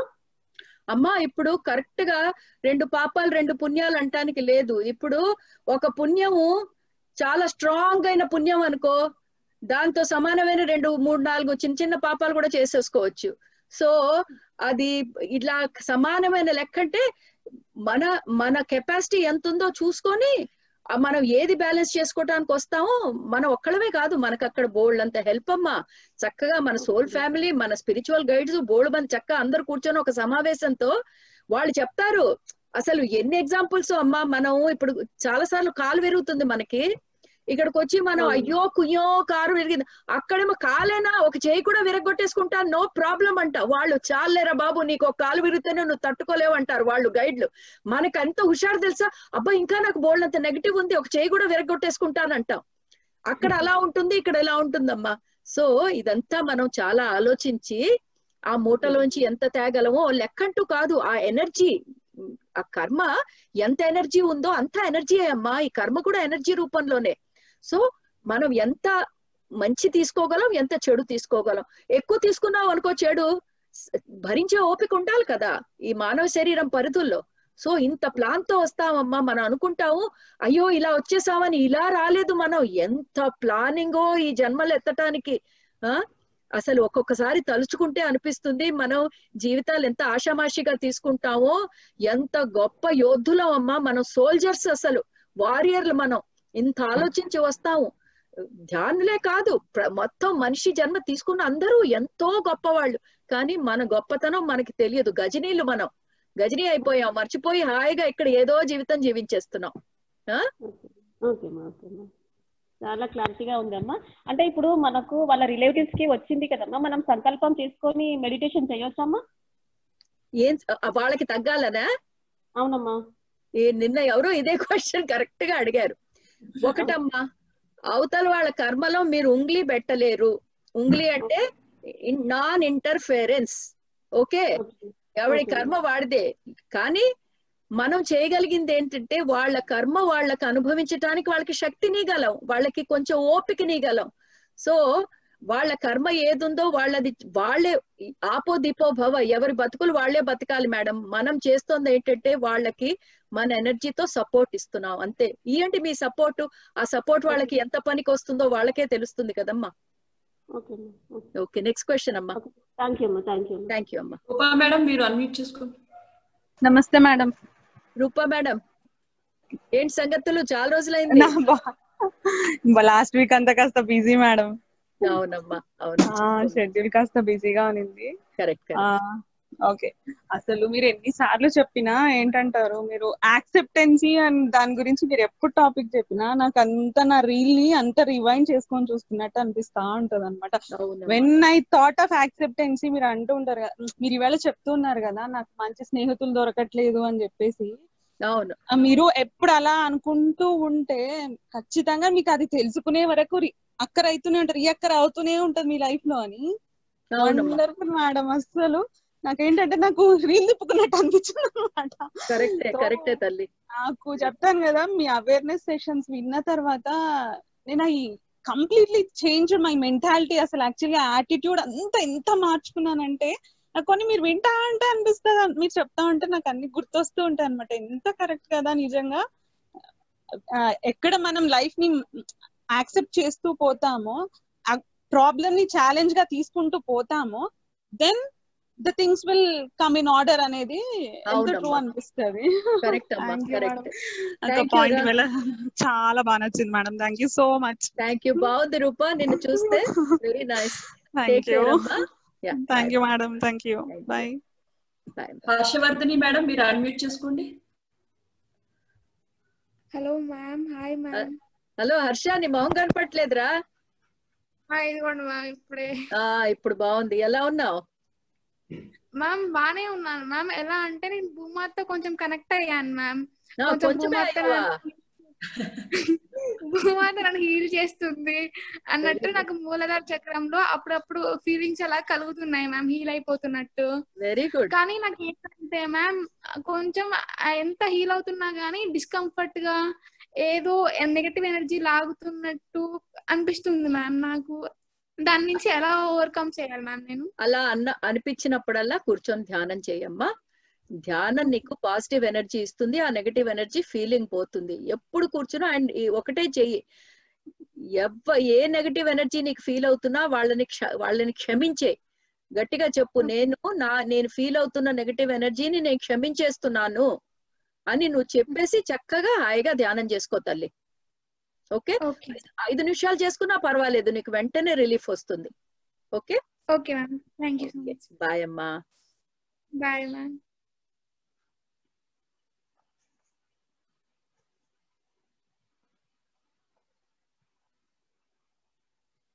Next Vijayalakshmi madam మీరు అన్మ్యూట్ చేసుకోండి.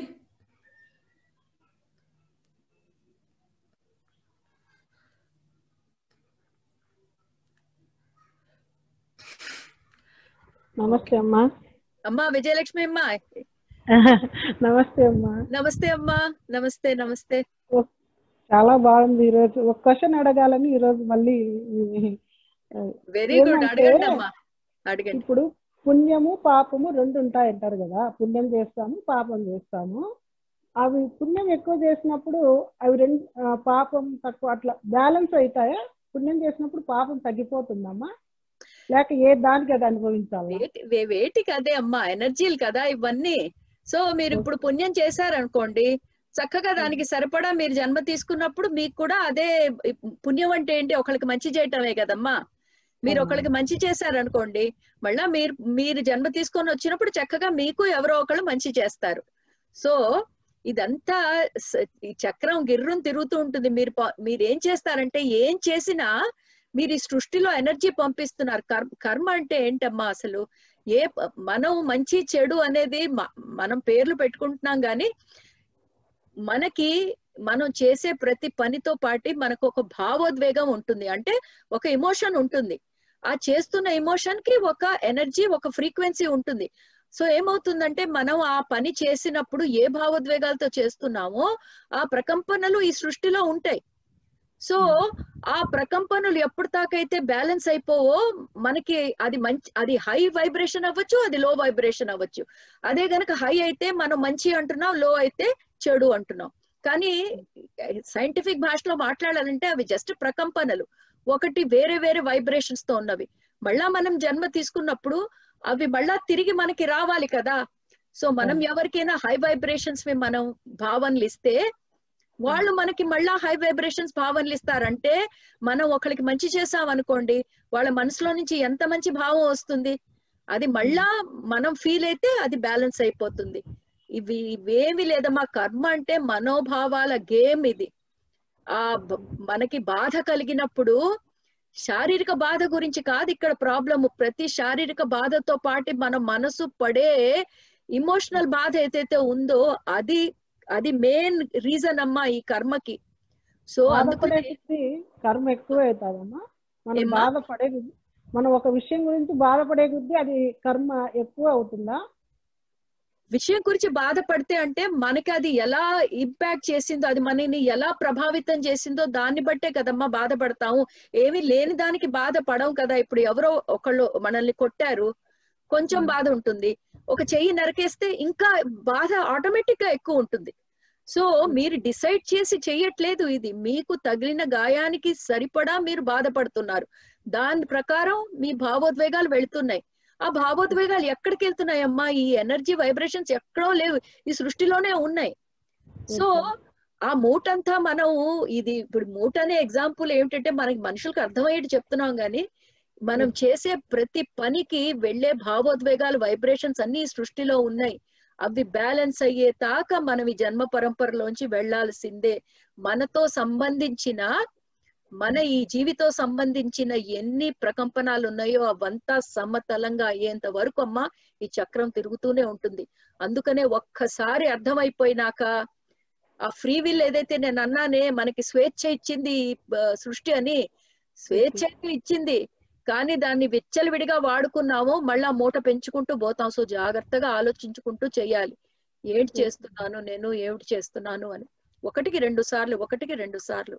ఓకే అమ్మా? థ్యాంక్ యూ అమ్మా. థ్యాంక్ యూ చాలా బాగా చాలా బాగా. అర్థమైంది. Okay thank you Indira madam మీరు అన్మ్యూట్ చేసుకోండి. నమస్తే అమ్మా. అమ్మా నమస్తే. ఆ, మీ సెషన్స్ అన్ని అప్పుడప్పుడు వింటుంటానమ్మా చాలా బాగుంది. ఇటు ఎరుక ఎరుక అని చాలా బాగా చెప్పారు సెన్సెస్తో ఎట్లా ఎరుకతో ఉండాలా. మైండ్తో ఎట్లా ఉండాలా అనేది చాలా చాలా అదే అదేను హైయెస్ట్ ఆధ్యాత్మికం అని చాలా అర్థమైందమ్మా ఎరుకంటే. వివేకం. విజ్డమ్ అది రెండు మా ఒక్క చిన్న డౌట్ ఏంటంటే ఇప్పుడు సెన్సెస్తో. మనం పనులు చేసుకుంటూ ఉంటాం కదమ్మా. చూస్తాము చేస్తాము అది నార్మల్గా మనం రోజు చేసే పనుల్లో తెలిసిపోతా ఉంటుంది. స్నానం చేయడం వంట చేయడము అలాగా. మైండ్తో ఎక్కువగా ఉండాలంటే మైండ్లో వచ్చే థాట్స్ని మనము మీరు ఇప్పుడు ఆమె చెప్పారు కదా ఆ దానికి ఎదురు ఎదుర్కొనక మనం అట్లాగే అది వచ్చే వెళ్ళిపోతానే ఉంటాయి. లెట్ గో చేసేస్తూ ఉంటే మనకు ఆ లిబరేషన్ ముక్తి ఆ ఎరుకుతో ఉండడం అది కరెక్ట్ అంటారమ్మా? ఎరుకుతో ఉండటం కరెక్ట్ అమ్మా. ఆలోచనలు వచ్చినా మీరు ఇందాక చెప్పారే. ఆలోచనలు వస్తూ ఉంటాయి. రానియండి ఇప్పుడు ఆలోచనలని మనం సాక్షిభూతమై చూడటం అంటే ఏంటంటే దాంతో మనకి ముడి లేదు. ఆలోచన. వచ్చింది అనుకోండి. ఎలా చూడండి అంటే ఆలోచన ఎవరిదో ఆలోచన చూస్తున్నట్టు మన ఆలోచనని మనం చూస్తే దానికి మనకి ఏం సంబంధం ఉండదమ్మా. అందుకే ఈ ప్రపంచంలో ఎప్పుడైతే సాక్షిభూత తత్వంతో మనం జీవించడం మొదలు పెడతామో ఏ కర్మ మనకు అంటదు. ఎందుకంటే అది మనది కాదు. మనకి ఆ కొంతసేపటికి అది రానే రాదు. నిజంగా మనం సాక్షిభూత తత్వంతో మన మైండ్ని గమనించడం మొదలు పెడితే మన. మైండ్ ఆగిపోతుందమ్మా. అసలు మైండ్ ఇంకా ఆలోచనలు రావు. కానీ అది చాలా ప్రాక్టీస్తో వస్తుంది. మీకు మీరు ఫస్ట్ ది చెప్పారే. అప్పుడు చెప్పండి అమ్మా అవునమ్మా. చెప్పండి. చెప్పండి అమ్మా చెప్పండి. మీరు యాక్చువల్గా ఆలోచన అనేది చెప్పండి అమ్మా చెప్పండి. ఆ ఫైవ్ సెన్సెస్తో గమనించటం ఎరుక గురించి. చెప్పానే అది మాత్రం ఎంత బాగా పనిచేస్తుందంటే ఇందిరా మేడం. నేను ఎంత మందికి చెప్పానో వాళ్ళందరూ అది ఉపయోగించుకొని వాళ్ళ జీవితాలు నిజంగా ఎంత బాగు చేసుకున్నారో. నా కౌన్సిలింగ్లో ఎలాంటి వాళ్ళు వచ్చారంటే అమ్మా ఒక ఒక ఆవిడకైతే వాళ్ళ. హస్బెండ్ ఇంటి నుంచి గెంటేస్తున్నారు. ఇంకా ఆ టైంలో ఆవిడ నాకు ఫోన్ చేసి నేను నేను ఒకటే అడిగాను మేడం మీరు ఉండగలుగుతున్నారా? మీరు ఉండలేకపోతున్నారా ఇంట్లో? అంటే అంది నాకు అవసరం ఉందండి నా పిల్లలు చదువుకుంటున్నారు నేను ఇప్పుడే వెళ్ళలేను. సో నేను నేను అక్కడే ఉండాలి. సో అయితే మీకేమి అంటే శారీరకంగా మీకు ఏమి కొట్టటాలు అవి చేయట్లేదా? లేదండి కానీ నాతో అంత బాగా ఉండట్లేదు. సరే అదే మీదైతే ఒక పని. చేయండి. మీకు ప్రాబ్లం ఏంటంటే తట్టుకోలేకపోతున్నాను మేడం. చాలా పిచ్చిగా మాట్లాడతారు నన్ను. ఓకే మాటలు ఒక్కటేనా మేడం అన్న. అవును. అయితే ఒకటే చెప్పాను. ఆయన మీతో మాట్లాడుతున్నప్పుడు మీరు చక్కగా మీ దే మీ మీ శరీరాన్ని గమనించండి మీ ఆలోచనలు గమనించండి. మొత్తం మీరు ప్రెసెంట్ మూమెంట్లో ఉండండి. ఏమీ లేదు ఏమి జరుగుతోంది నా. చుట్టూ? నేనేం వాసన చూస్తున్నాను? ఇందాక మీరు చెప్పారే ఆ ఫైవ్ సెన్సరీ ఆర్గన్స్ మీరు జస్ట్ ఒక సాక్షిభూత తత్వంతో మీ ఫైవ్ సెన్సరీ ఆర్గన్స్ నుంచి ఏం వస్తున్నాయో. చూడండి. మేడం ఆవిడే ఒక నాలుగైదు రోజులు చేసుంటారు ఆవిడకి అసలు ఆయన ఏమన్నా ఆవిడకి అసలు ఏవి ఎఫెక్ట్ అయ్యేది కాదు. ఆవిడ తర్వాత వారం రోజుల తర్వాత ఫోన్ చేసి నాకు చెప్పింది మేడం అసలు నాకు ఇప్పుడు ఏ బాధ. లేదు ఆయన ఏమంటున్నా అసలు నన్ను అన్నట్టే లేదు నేను మొత్తం సాక్షి అవేర్నెస్లో ఉంటున్నాను ఈ వారం ఇంకో వారం తర్వాత ఏం జరిగిందంటే ఇందిరా మేడం ఈవిడలో మార్పు వచ్చేటప్పటికి ఆయన. మారిపోయాడు ఇన్నాళ్ళు ఆయనకి ఏంటంటే. తనేదో అంటే ఈవిడేదో అంటే బాగుంది కదా ఇద్దరు కాసేపు కబుర్లు ఆడుకోవచ్చు ఇప్పుడు ఈవిడ మాట్లాడటం మానేసేటప్పటికి ఆయన గోడతో ఎంతసేపు మాట్లాడతాడు ఆయనకి ఇంట్రెస్ట్ పోయి. ఒక రోజు వచ్చి అడిగేట ఏమవుతోంది నీకు? అని. అంటే నాకేమీ కావట్లేదు కానీ. నేను మాత్రం ఇంకా మీరు అనే మాటలకి స్పందించాను. ఇప్పుడు ఆయన కూడా మెడిటేషన్ క్లాస్లో కూర్చుంటున్నాడమ్మా మాతో. సో ఎరుకకి ఎంత. పవర్ ఉందంటే అమ్మా మనం మనం మనలో మార్పు తెచ్చుకొని హాయిగా బతికి అవతల వాళ్ళని కూడా మార్చచ్చు. ఎరుకమ్మా ఎంత గొప్ప టాపిక్ అంటే అందుకే మేము అన్నాళ్ళు చెప్పుకున్నాం జీవితాలు మార్చేస్తాయమ్మా ఎరుక. అది. లేకే మనం ఇంత బాధల్లో ఉన్నాం. అవునమ్మా అవును. చాలా మీరు చాలా మన మన ఇంట్లో ఒక ఫ్యామిలీలో ఆమె లాగా కలిసిపోయినట్టు మాట్లాడినట్టు ఉందమ్మా చాలా సంతోషంగా ఉంది. చాలా హ్యాపీగా చూస్తాను మీ మీదంతా ఒక పెద్ద అక్కలాగా ఒక ఫ్యామిలీ మెంబర్లో వెల్ వెల్ విషర్ లాగా వచ్చి చెప్తున్నట్టు. అన్ని విషయాలు చాలా హార్ట్లీగా హార్ట్ ఓపెన్ చేసి చెప్తున్నారమ్మా. చాలా లోపల నుంచి మీరు వ్యక్తం చేస్తున్నారు ఆ మాటలు. మీలో ఎంత బాధ ఉంది నలుగురికి ఇది చెప్పాలా తెలుసుకోవాలా అని అది నా లోపల నాకు కళ్ళల్లో నీళ్ళు వచ్చినట్టు వైబ్రేషన్ వస్తుంది అమ్మా చాలా చాలా థ్యాంక్స్ అమ్మా. మీ అంద ఇది ఎంతో వాల్యుబుల్ మై సర్వీస్ ఎంత మంది అమ్మా ఇందిరా థ్యాంక్ ఆ యూ చేరాలని నేను కూడా మనం అంతా ఒక. పెద్ద ఫ్యామిలీయే కదమ్మా. మనమంతా. సోల్ ఫ్యామిలీ కాకపోతే ఇక్కడికి వచ్చి చిన్న చిన్న ఫ్యామిలీలో ఉన్నాం గానీ మొత్తానికి కలిసాం కదమ్మా అందరం. ఈ ప్లాట్ఫామ్ మీద అందరం కలిసాం. మళ్ళా కలుస్తామమ్మా నుంచి అక్కడికి వెళ్ళాక అందరం హలో హలో బాగా బాగా చేసుకొని వచ్చాం మనం అని ఓ క్లాప్స్ కొట్టేసుకుంటాం. పెద్ద ఫ్యామిలీ అమ్మా. మనం. అందుకే ఇంత ప్రేమగా ఒకళ్ళకొకళ్ళు అర్థం చేసుకోగలుగుతున్నాం.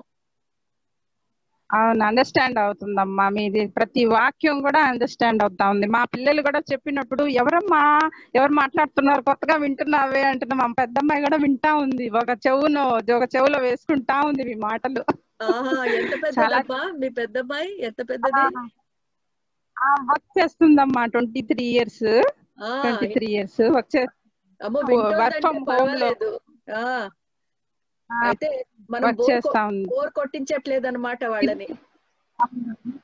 వింటూను మనం ఏం చేస్తాం మనకు అదే వస్తుందమ్మా అంటా ఉంది. ఏదో ఒక మాట్లాడుతా ఉంటే మనకి ఏం చేస్తుందో మనకు అదే వస్తుంది. అని అర్థం చేస్తా ఉండింది. ఏదో ఒక మాట. చాలా వింటున్నారమ్మా. ఇంట్లో వేస్తే వాళ్ళు సైడ్ బై సైడ్ కూడా ఏదో మంచి మాటలు వాళ్ళకు హాట్లీ పోతున్నాయి ఆ మాటలన్నీ కూడాను. అలాగా. వెళ్తాయమ్మా. ఎప్పుడు చెప్తాను. పిల్లలు వినట్లేదు వినట్లేదు అనుకోకండి. వాళ్ళు ఆడుతూ పాడుతూ అలా మన మాటలు వింటారు గాని చెప్పరు మనకి. తర్వాత వాళ్ళ వాళ్ళ జీవితాల్లో వాళ్ళు అవునవును. ఎప్పుడైనా వాళ్ళకి ఛాలెంజ్ వచ్చినప్పుడు అవును. కదా అప్పుడు అమ్మ మనతో అలా చెప్పేది కదా అన్ని గుర్తు తెచ్చుకొని వాళ్ళు చక్కగా వర్తించుకుంటారమ్మా వాళ్ళ జీవితంలో. మనం చేయలేదు. చిన్నప్పుడు మా అమ్మ పక్కన కూర్చోబెట్టి నాకు ఇంకా గుర్తు. మా ఇంట్లో మా మా అమ్మ ఆడపిల్లలందరికీ శ్రీ సూక్తం. నేర్పేది. ఆ మేము ఎప్పుడు ఆటలు ఆడుకొని వచ్చినాక. కాళ్ళు కొడుకొని కూర్చున్నాక అందరు కూర్చోండి శ్రీ సూక్తం నేర్పుతా అంటే ఆ ఏమి అమ్మ హోంవర్క్ చేసుకొని మేము పారిపోయేవాళ్ళం. తెలియకుండానే. అమ్మ చెప్పే శ్రీ సూక్తం బుర్రలో ఉండిపోయింది. అంటే ఏమంటున్నానంటే అప్పుడు మా అమ్మ విసుక్కుంది. ఓ పది నిమిషాలు. కుదురుగా కూర్చొని చెప్పే మాట విన్నాను. కానీ వెళ్ళిపోతుంది అమ్మా ప్రతి ఒక్కటి వెళ్ళిపోతుంది. తర్వాత పెళ్ళైన తర్వాత ఎవరు చెప్పేవాళ్ళు లేక మేముంటే చక్కగా దీపం వెలిగించుకొని ఆ రోజుల్లో అన్ని చెప్పుకుంటే దాన్ని అమ్మ చెప్పినవన్నీ. ఒక రోజు మా అమ్మ చూసి మూర్ఛపోయింది. అదేంటి? అప్పుడు అసలు విన్నట్టే లేదు. ఎప్పుడు గుర్తుపెట్టుకున్నారు.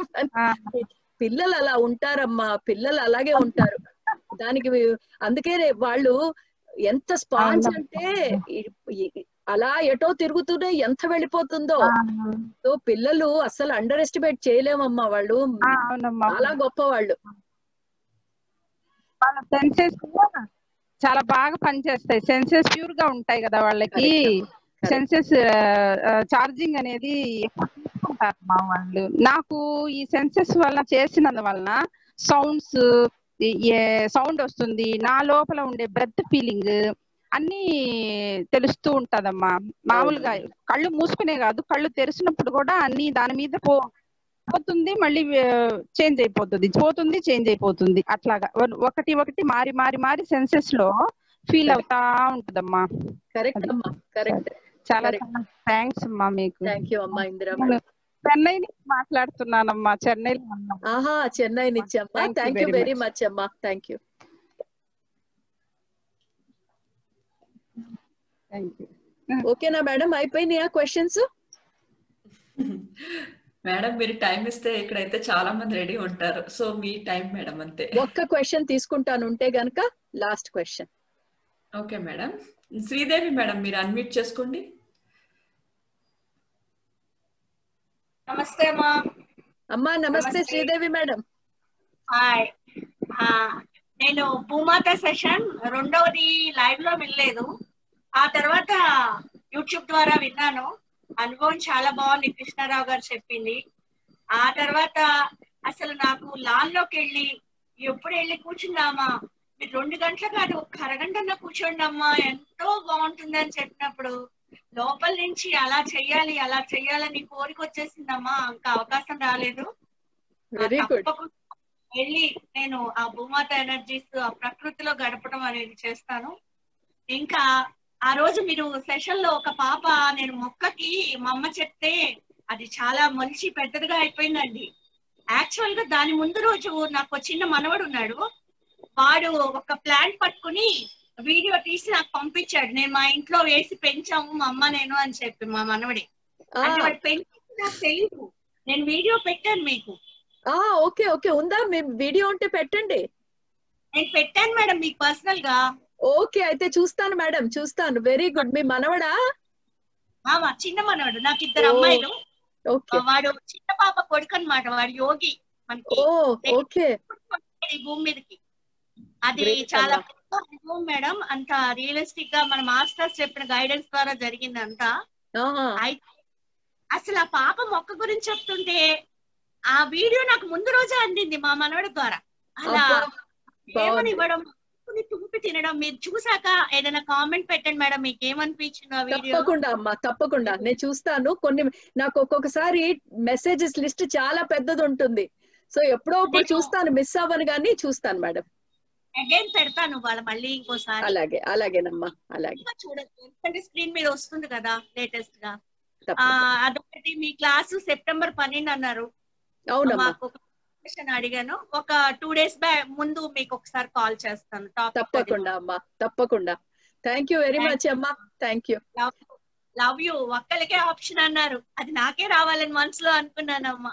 థ్యాంక్ యూ అమ్మా థ్యాంక్ యూ మీరు మీరు పంపించిన పాటే కదా మేము చక్కగా వేసుకొని ధ్యానం కూడా చేసుకున్నాం. మిమ్మల్ని ఎప్పుడు గుర్తుంచుకుంటాం మేము. థ్యాంక్ యూ వెరీ మచ్ అమ్మా. సో మీ. అందరికీ నమస్కారం అండి. అందరికీ థ్యాంక్ యూ నాకు ఎంతో సేపు ఇక్కడ ఉండి మీ అందరితో మాట్లాడాలని ఉంది. కానీ బోల్డ్ అంత ఇంకా షెడ్యూల్ ఉంది. ఇంకో మీటింగ్లు ఉన్నాయి రెండు. సో అవి కూడా చూసుకోవాలి కాబట్టి ఈ రోజు సెషన్ ఇక్కడతో ఆపేసి మళ్ళా కరెక్ట్గా వచ్చే సోమవారం హాయిగా మన పెద్ద సోల్ ఫ్యామిలీ మళ్ళా కలిసి హాయిగా మాట్లాడుకుందాం. అంతవరకు సెలవండి.